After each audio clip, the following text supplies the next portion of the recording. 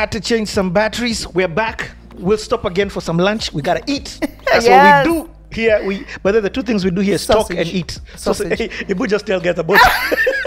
That's all she's ordering. she called. She's like, "Listen, for breakfast I want sausage." I'm like, but actually, that's something. That's something huge. What's it about sausage? what is it about what is it about the sausage here i mean it is just the authentic organic stuff Mm. you know um, even the size of the sausages matter you know Yep. because actually i mean you could actually eat that and and you're and you're good right Yeah. um yeah the american sausages were it's they're just different Yeah. uh, uh, here maybe because they're fresh i mean it's it's the way they're cooked Yeah. but I, yeah, I'm gonna eat the whole Kenyan. I'm, I'm, I'm gonna tear up the whole Nairobi today and eat sausage all day because I leave tomorrow. Oh, Uh. Okay. yeah. Anyway, before you leave, let's continue this conversation. Yeah. Then. Thank you, first of all, for giving us your day. So, I've understood your this first job. You've done your you've done your double masters, Mm-hmm, Um, and you've touched one of them touches in the HR world. Mm-hmm. So, when's the first promotion? My first promotion came, and like I just said, after I, I mean, when when I have finished my school, my dig, my two degrees, had my first job. Um, I was at a company. Where was I? It was um, One Africa or something. What what is what is the company? no, the, the actually it was it was. I'm trying to because I started Counterpart International, then I went to Elizabeth Glaser. Um, I can't remember which company, but anyway, my first promotion came after I had done that admin job for like about two three years, you know, and that again after I felt like once I got my degree, I had a little bit more leeway. Um, and experience, experience makes a difference too. yeah, Um, but again, it also I, I, I powerful experience makes a difference. yeah, experience makes a difference. So it's again, but again, I had both, right? I had the school and I had the experience. So I was like, why, why are they not giving me a promotion? Uh, and one thing I learned is that you gotta ask for it. Mm. Sometimes you gotta ask because again, you might think, oh wow, can they? Of course, do they see my skill set? Mm. They see my education. I do great. Um, but to them, they're fine. They're, they're. I think it's okay. They'll pay you. Well, well. In fact, they just want you to keep doing your job. Yeah, keep doing your job, right? So I learned that it's like make your ask when you when you make your ask about where you want to be in your career. You've got to be very. Uh, you gotta be your own advocate, basically. Period. I learned that. Yep. You know, very early on in my career because literally I could have probably stayed at that job. And once I got my first promotion into the HR generalist, that's when I was like, aha, this is how things go, Nice, right? nice. um, so that's when I think I actually started feeling a little bit more, um, what do you call it? Like just uh, uh, more, more uh, secure about myself Uh-huh, in terms uh-huh. of my career, right? Um, And you got a reward for the hard work that yeah, you've been doing. you did. When you get a promotion, you'll get a, salary increase. Yep. You know, um, and that felt good, right? I was like, okay, finally, I'm I'm I'm, I'm making traction. Um, you know, and I kind of started believing in myself a little bit more.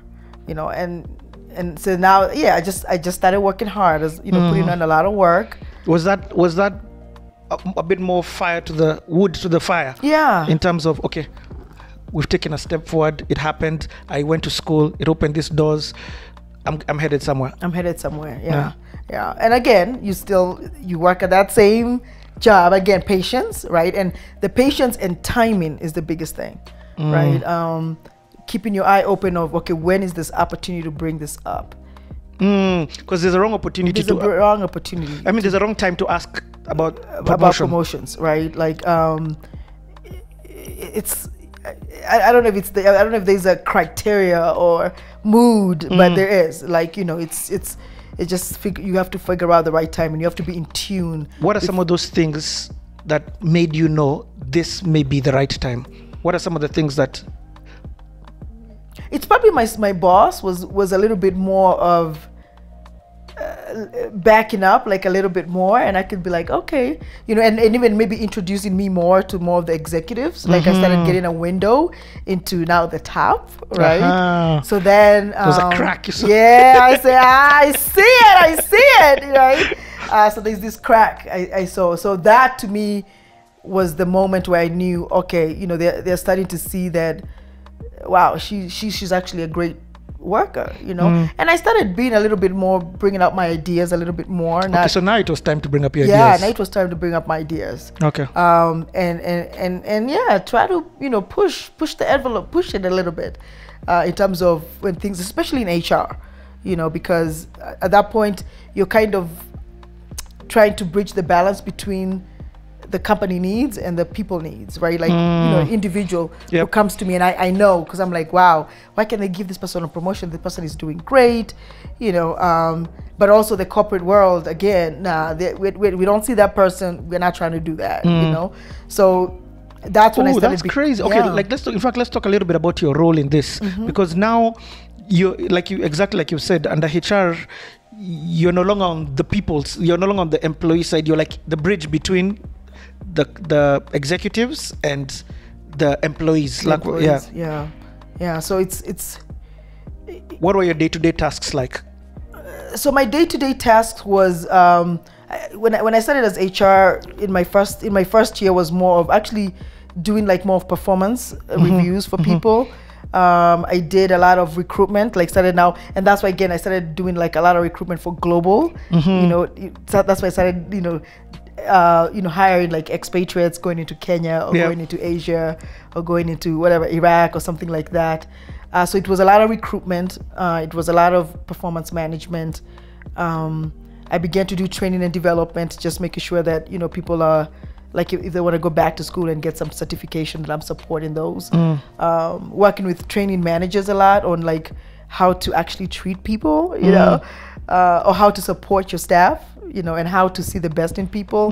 That became probably my niche when I started. Yeah. Yeah and that's when i was like you know um there was something about i think just me being able to connect with people that a lot of managers felt. So i became i started doing a lot of employee relations and that's where now in my I career know the coaching started right? Exactly. I'm hearing you speak. I'm like, you are in the training ground for what you would come and talk to Yeah. people later about. Yeah. Or what you're doing right now. what i'm doing right now and Yeah. how was it working with, were you in the firing section as well? i was that must have been hard. that was the hardest part that was the hardest part and actually it's funny um now I, that's the dirty work that you do right that's the dirty work yeah so i did i did that as well uh, and that's why it was really hard to balance the corporate and and the the work of the person you know because you're like wow is, i mean give them you know is that that person is might maybe not that bad. They probably just need a lot of the training. Uh, sometimes people didn't look at the managers the problem. It's more of like oh the employees the problem. Because again you know they're not going to say the employees the problem you know but it could be uh, the managers but they're they're seated at the top. So you know there's nothing much you could do about that. Um, so so that was tough. How long? How, how long were you in this position? I was there in position for about two, two, three years. And again, alas, did you like it? Did you like what you were doing? I did, I hmm. did, I did. I, the part of my job that I loved most was that the hmm. employee relation piece, the piece where I was, you know, talking to people, giving people advice, and and and and hearing what they want to do and how to have a conversation. Hmm. If you're like, if if you're feeling overlooked by your your manager. Um, that became my strength. You know, that became my huge, huge strength. yeah. And and in terms of this organization, how many people are we talking about? Oh wow. Globally, you're, you're looking at about over a thousand Yo. people. Yeah, but in the if you so, but we were also in the headquarters office, like in DC, you're looking at about 100 to But 200. but you're managing. I mean, your your HR is you're under this 1,000 are still under you. Yeah, it's a whole umbrella of people, right? Uh, so you're looking at both the U.S. people and you're also looking at like the global, local people, right? You're looking at the, you're actually con- and and a lot of this NGOs, the ones that I at least worked with, had like HR representative in this country, Yes, right? of course, So yeah. you're the one who's kind of teaching them, you know, kind of empowering them, The and training culture and all them, those stu- and stuff. uh, culture in them. If you know, they always used to say, "I don't know what you're doing in the U.S." and you know, the decisions we make here. Uh, we're not always translating into the local, and I see why. Mm, You know, um, even just me being here this few weeks, you know, with the internet connection, I was saying, Yep, like, yep. you know, sometimes the lights go out. Like, it's just one of those things. Like you, there's nothing much you could do if you you might leave work here, not you might leave home at seven, but you might not get to work till ten just because of the traffic. Mm. Um, and there's just no way around it, you know. And also, um, did that now affect your working hours? What, uh, what what about if you're having a conversation with somebody in Kenya and you're there at night? See, that was the thing. They didn't care. Uh, or maybe that that was not in their mind. Like, uh, there is a time difference, you know. Uh, You're like, do your job. Yeah, your but job do your you have job, to do this. you know. Yeah, and I became a morning person. To be honest, I am actually a very, very morning person. Mm. Um, but you are right. Depending on what, like sometimes when I talk to the people in Asia, you can only talk to them like at 10, 11 o'clock Mm. U.S. time. So that's you're up pretty late, right? And then when you're talking to more of the African countries, you're doing it at five, six o'clock in the morning because that's their more mid time. Yeah. Um, I, I, have a friend who says, with every level comes a new devil. do- so, so like, did you feel now like, yo, this is a whole lot more from what I was doing before? yes. There's a reason why they're paying you more. yeah yeah there's a reason why but also it's it, it's wow i mean we'll get into this why i got my why i left corporate world. Okay. you know was that you know i feel like you you get to this place and i think somebody said it best one of my friends dina she said you you know you work so hard think about it all my journey like i'm gonna break through that ceiling. Mm. But when you get there it's like a whole different you feel like you're in the wrong address. Yes yes. I was like where did the gps take me? Because this is not where i i, I meant to, to to end up Yeah. right um so it the pressure the pressure was crazy. And i'm gonna go back to where i said you know my my uh, life as a single mother without that's why it actually took me years to ever tell people that i'm a single mom. Whoa. right? Because that already will put a stigma to it. They will put you in a box because they're like oh no we can't give her that job because, Because she, she's- she can't adapt. She got a baby to take care Oh. of right? She doesn't have a Oh. husband. So it took me years to ever say to tell people that yeah a lot of people that i was married kids nah you know people don't think of uh, what it takes to you know get your kids ready in the morning by yourself daycare this you know and the kids too my, my kids are crazy too you know there's a whole different you know job right there um you know so it, it would limit i felt like it was going to limit my opportunities I get it. right so Yep. And at this time, have you left, or are you still with your folks? Are you still? No, I've got my own place now. Actually, Yo. I, I bought my own house when she was again see motivation. Uh, I bought my first house in 2000 and Fast. my yeah first house. I see where we're going. I know. There's oh, more than oh, one. no, no, no! I got. I, I, I, they ain't give me that kind of money. I, I missed that boat. No, no. I, I had one house. Okay, no, my, my first house.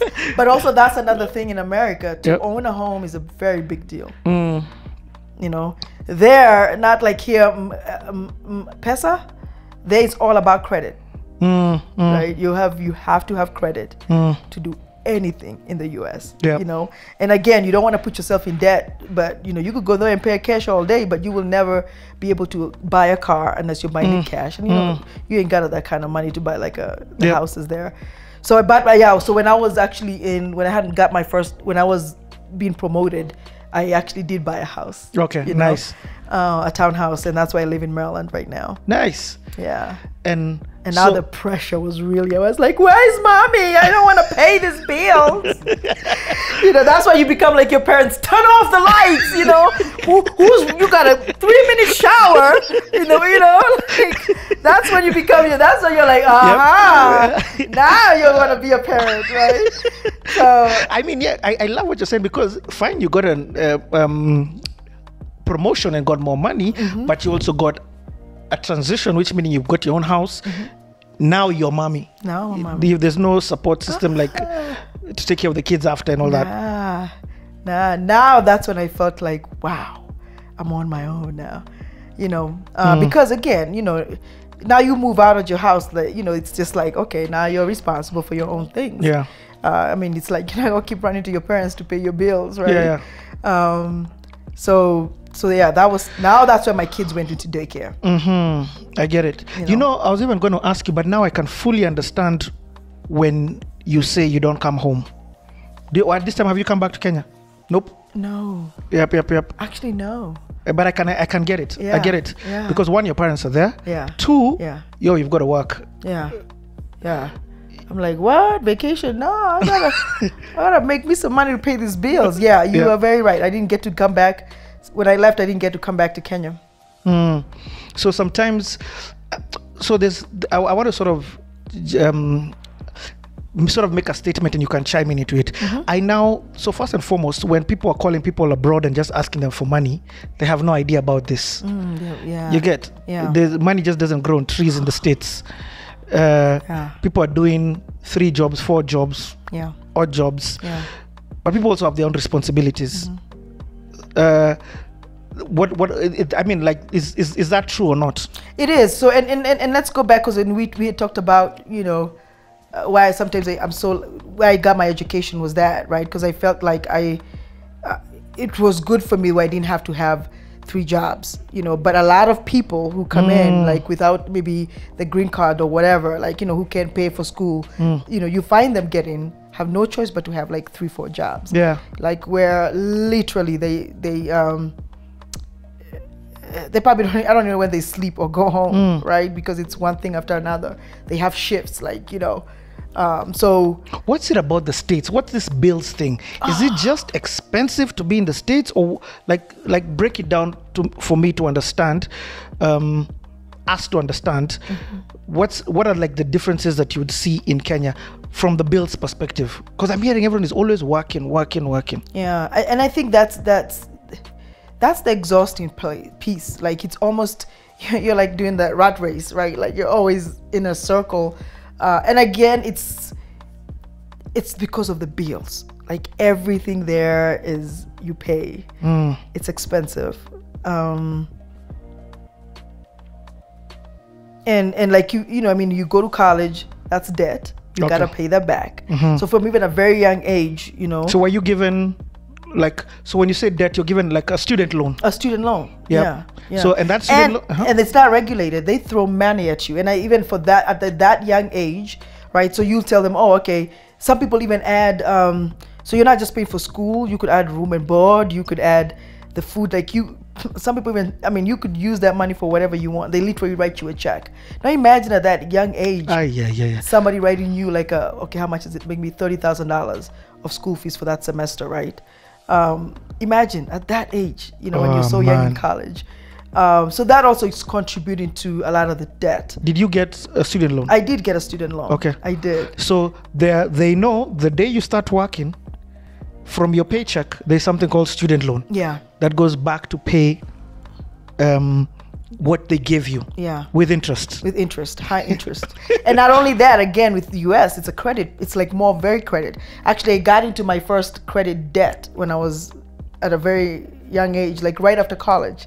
Right, because you have college, they give you all this money, and then you know it's you live this life that uh, like probably you can't even afford. You know, uh, so it's very easy to get trapped into debt in the mm. US. Very easy because they they they'll give you the money, you know, mm. but you're gonna pay it back. It's like it's like what what Kenyans have been given Fuliza and and and and Talas And so all these mobile loans that they've been Yeah, given. yeah. But this is on steroids because This is on steroids. It's, it's- you know what I mean. The, the limit is not ten thousand shillings. Yeah. The limit is ten thousand dollars or, or I, more. I had my first credit card limit at ten thousand dollars What? at age nineteen. I think that was, and now I try to apply for that. I'm like, nah, you know. I was like, what do you mean you gave it to me at nineteen? You know, but I feel seriously. I feel I didn't. I didn't even never thought about it. it. Like now I'm smarter. I know I'm not gonna spend, you know, that kind of money, right? But at 19, if you, th- you, I got a credit card. 19 Yep. That's insane. Ten thousand dollars, and I ran every single penny of that thing, and it was bad, you know. And then because you gotta pay it back, the interest is ridiculous, um, Okay, I get right? it. Yeah. That's why you see the bills. Like you, you have to be very disciplined. Mm. Um, access to finance, but it's not really finance that it is. It's access to loans. In fact, that's what what what they gave you. Access to loans before the maturity had kicked in. yeah, Okay, makes a makes makes a lot of sense. And sometimes you're desperate. You need you need that. yeah, yeah. That- Uh, the, the money. Yeah. right? Yeah. So yeah, because I mean, if you have a, and then the thing with the U.S., they're quick. If you ain't got a, if you don't pay your bill, cut off. That's when you. That's when the lights go off in, the, in the U.S. when you don't pay your bills. Mm-hmm. Okay. You know. So so you know you have. So they go off, but Oh. they, they know when. then they know when you know Mm-hmm. like your cable bill um you know uh, yeah it's just things gas you Mm. know um you know clothes i mean in, in us again they have different seasons. So it's not like I mean, literally the fall you have to buy different clothes for that. The winter, different clothes because you, you're wearing. And I don't know, maybe it's just a stigma thing. you know, Yeah. maybe it's just all in our minds too, because we are so spoiled. We think that we have to, but maybe we don't. Yeah. Uh, but it's true. You have clothes for different seasons. But also in the workplace, you're expected to look a certain And way. then in the workplace, and that's where most of the money goes to. Actually, that's a great point that you brought up, Mm. especially if you're black. Oh man. right? I would tell you, I you see, I, I got sister locks. I did this two years ago when I when I got my own company, Mm, whoa. right? I would have never gone for an interview with hair like this. I would never get the job. Oh Period. man. I never went to an interview with braids on. Oh I never went to an interview. Yeah.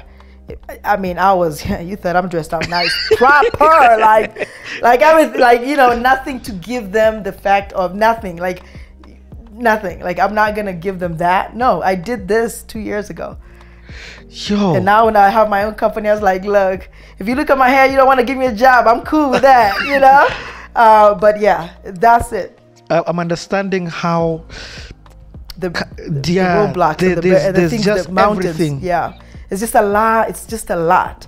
So when you see people now transitioning, there- there's a reason why, right? Because it's always something after something. Like I Hmm. Got this education now, you don't want to hire me because of my hair. Are you serious? You know? even how you speak. You can't go there, hello, I would like to apply for a job.